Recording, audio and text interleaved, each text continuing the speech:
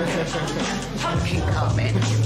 Well, that's not still going to be going on by Wednesday, is it? Oh, City Farm apparently have got a deal in a week. It'll be freezing. Yeah, well, I'm sure if Albie can go trick or treating just a sheet, he'll, he'll be all right. Look, it's a nice idea. But he's in nursery till midday and he's got a birthday party after, so. Knock, knock.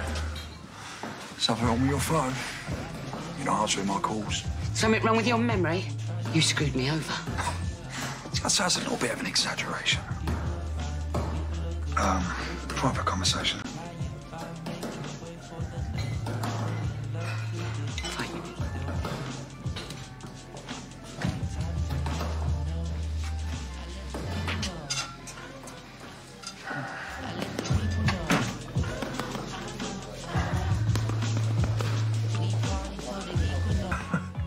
It's fine. It's fine. I mean, I am talking big names here. Big names. But there's plenty of other gyms if you don't want in again. Do not gaslight me, Dorian. You set us up. You took a cut, and I did not agree to any of that. You employed me, Sharon. I did the job. You don't like the method, and that's very unfortunate. And I am still owed two weeks' grace, and my finder's fee is still outstanding. And I ain't paying. Now, what do you think that's going to do to your reputation if uh, word gets out you don't honour your debts? And what do you think the old Bill will do if they find out you fix matches? Look, this doesn't need to get unpleasant, does it? I will keep my mouth shut. I have kept my mouth shut.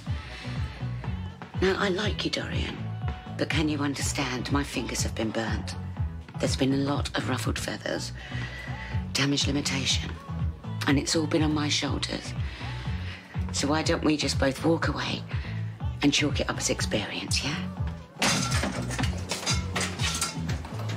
Did you not hear the woman?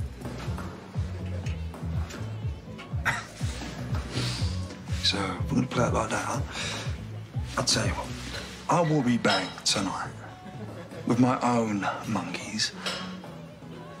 And I want full payment in cash.